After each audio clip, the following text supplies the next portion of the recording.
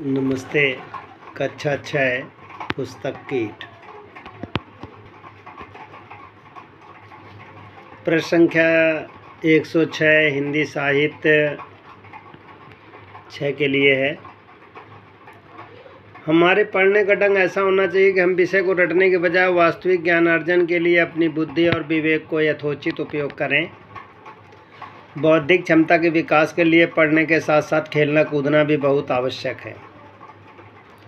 पात्र परिचय, लता सुलेखा, कुसुम निर्मला, मालती मुख्य अध्यापिका।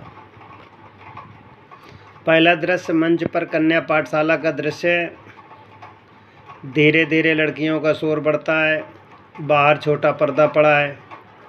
एक ओर से दो तीन लड़कियाँ तेज़ी मंच पर आती हैं। कुसुम, अरे मालती तुम इतनी तेज़ी से कहाँ भागी जा रही हो? मालती, सुना नहीं, घंटी बज चुकी है, कक्षा में जा रही हूँ।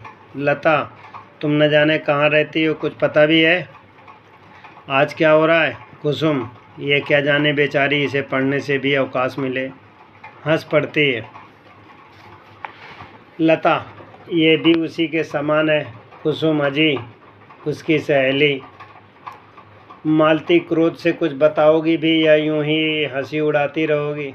लता, ओहो ओहो, मेरी रानी, क्रोध करना भी जानती हो? मालती भाई मैं चली, मैं तुम्हारी तरह हँसी मज़ाक में समय खोना नहीं जानती। मुझे काम करना है, परीक्षा सिर पर आ रही है। कुसुम, जी हाँ जैसे परीक्षा आप ही को देनी है। मालती जी, क्रोध न करिए, आइए हमारे साथ चलिए। मालती, पर कहाँ? कुछ बताओगी भी? कुसुम, हाल में मालती, वहाँ क्या है? लता, चलो तो पता लगा जाएगा। हाँ तुम्हारी कुछ कहानी हो तो हमें दोष देना। प्रश्न संख्या छः और सात में, एक सौ छः, एक सौ सात में प्रश्न इस प्रकार है। ये कौन सा दृश्य है?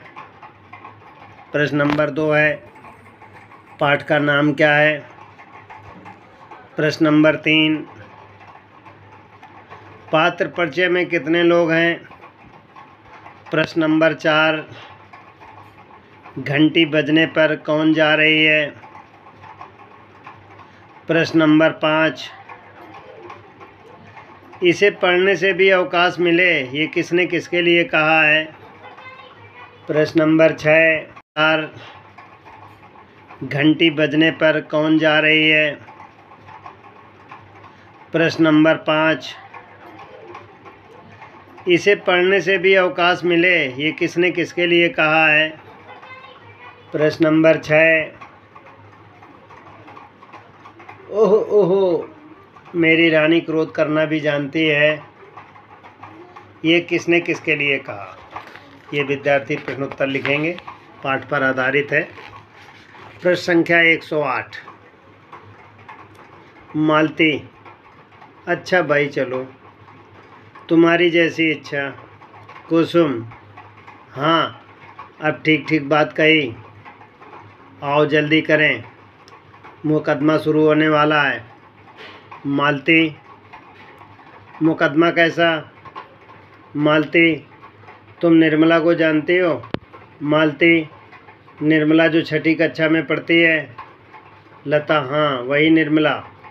उपनाम तोती, उपनाम भीमसेनी। मालती हंसकर, भाई, तोती नाम का तो मुझे भी पता था, पर यह भीमसेनी क्या है?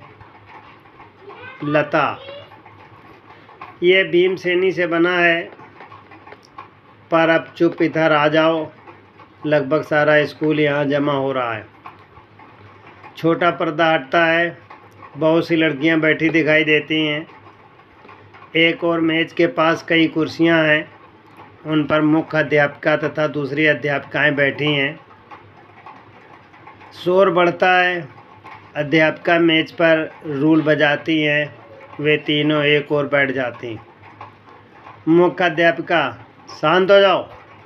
क्या करते हो? बैठना सीखो। यह आवाज़ सुनते ही वहाँ शांति छा जाती है।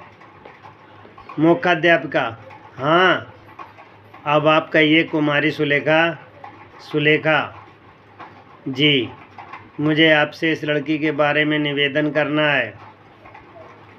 मुख्याध्यापिका इसका क्या नाम है?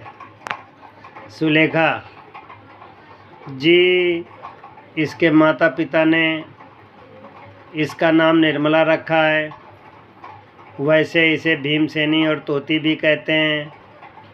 हँसी उड़ाती है। मुख्याध्यापिका शांत। मैं समझी नहीं भीम सैनी क्या नाम है? पेज 108 पर विद्यार्थी चार प्रश्नोत्तर स्वयं बनाएँगे और लिखेंगे भी।